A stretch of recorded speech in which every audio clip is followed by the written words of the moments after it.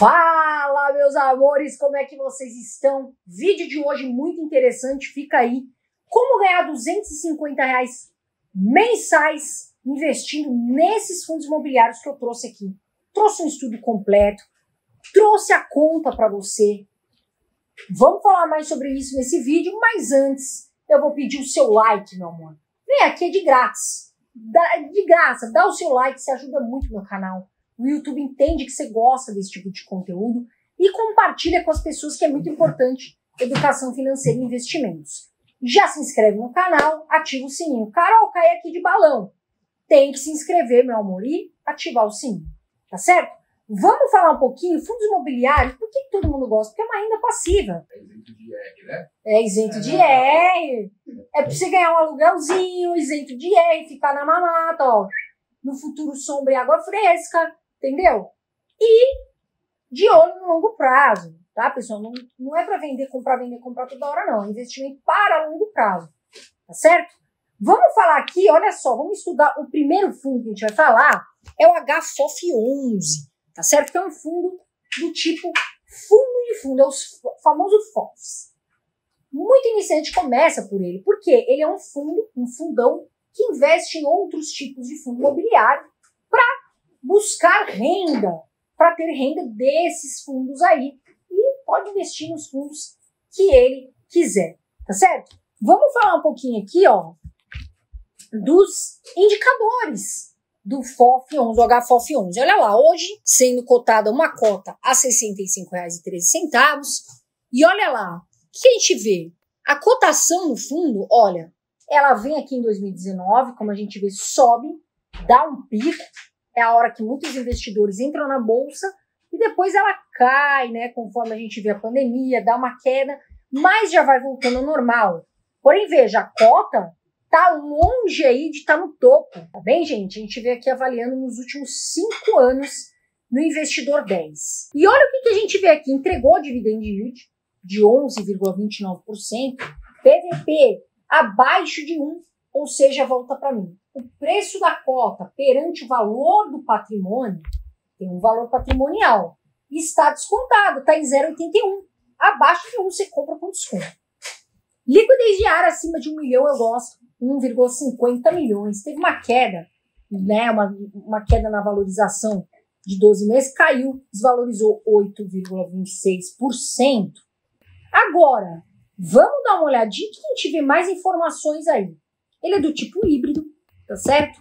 A gestão é ativa, volta para mim, ou seja, o gestor pode mudar de repente como ele vai investir, escolher os fundos de acordo com a rentabilidade, para buscar mais rentabilidade. A gente vê aí, né, um último rendimento de 0,63 e a gente vê o valor patrimonial 1,86 bilhão, um patrimônio grande. Agora, dá para a gente ver o quê? Olha ali no investidor 10 a comparação do HFOF com índice, que no caso é o IFIX, porque o IFIX é o médio, ele é o termômetro da rentabilidade dos fundos imobiliários, assim como o Ibovespa para ações. Agora, quando a gente vai comparar um fundo imobiliário, a gente compara com o IFIX, tá certo? O que, que a gente vê aqui? Olha lá, o que, que a gente vê? Ele fica abaixo aí do fundo, né? Do, do, desculpa, do benchmark do IFIX. Carol, eu não vou comprar, ficou abaixo. Pessoal, é um fundo, por muitos, considerado bom, tá? Você tem na carteira? Eu tenho, tá, gente? Então, assim, tem muita gente que tem o HFOF 11 em carteira. Começou com o HFOF, que é um fundo de fundo. Agora, dividend yield, põe aí na tela para mim. Olha aí nos últimos 12 meses, o que, que a gente vê? Sempre pagou dividendos recorrentes. Aqui, né, em 2019 ele deu uma queda, mas sempre pagou dividendos constantes. Agora, como que eu faria, Carol? Quero saber o seguinte. Você falou para mim. Como que eu faria para ganhar 250, 250 reais investindo nesse fundo? Vamos falar aqui. Qual o valor que você tinha que ter? Põe na tela para mim, vamos fazer essa conta. E para você receber 250 reais de dividendos, tá, gente, todos os meses, você precisaria aí de 422 cotas, tá legal? Que dá um total de 27 mil reais e 500. Agora, vamos para o nosso segundo fundo, que é quem? O DEVA 11. É um fundo do tipo papel, investe em dívidas imobiliárias, não em imóveis propriamente físicos, mas em papel. Vamos dar uma olhadinha, o que, que a gente vê aqui seguindo o investidor 10. Olha lá, a cotação hoje, 87,70 nesse momento. Entregou um bom dividendo, olha lá, uma pancada nos últimos 12 meses, 15,35%. PVP abaixo de 1, alô, descontado em 0,87, tem uma ótima liquidez diária, acima de 1 milhão, em 2,44 milhões. E olha lá, até pra gente ver, ó, se você tivesse investido mil reais há cinco anos, hoje você teria R$ 881,50. Agora, vamos dar uma olhadinha continuando aí. Olha lá, né? É um tipo de gestão ativa também, como a gente falou, um tipo do fundo papel. Olha lá, 1,42 bilhão de valor patrimonial e a gente vê aqui o último rendimento em 1,05. Tá legal? Vamos dar uma olhada? Presta atenção em mim. Rentabilidade em comparação com o IFIX. Dá uma olhadinha nesse gráfico. Olha lá, a gente vê nos últimos cinco anos o DEVA 11 fica para baixo aí do IFIX, mas com uma boa é, característica, um fundo volta para mim. Carol, você tem DEVA 11? Sim, tenho DEVA 11 na carteira, inclusive comprei recentemente, tá certo? Vamos dar uma olhada? Quanto que você teria, né, para você receber 250 reais todo mês? Quanto você teria que ter? Olha aí essa conta na tela. Para você receber 250 reais de dividendos todos os meses, você precisaria ter 228 cotas do DEVA 11, que dá um total investido de 20 mil reais.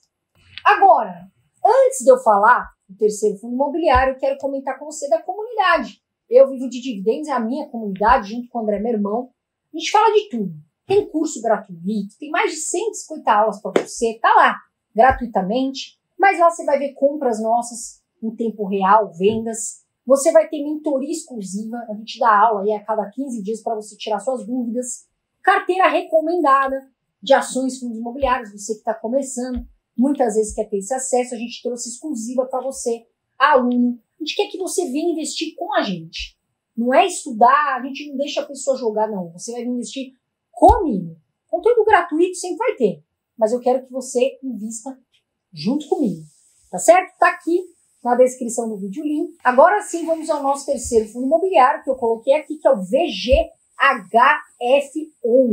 Olha lá, né? O VG, que é um fundo híbrido, também é uma mescla aí de fundo de tijolo e fundo de papel, ou seja, é híbrido, investe em tijolo e em papel.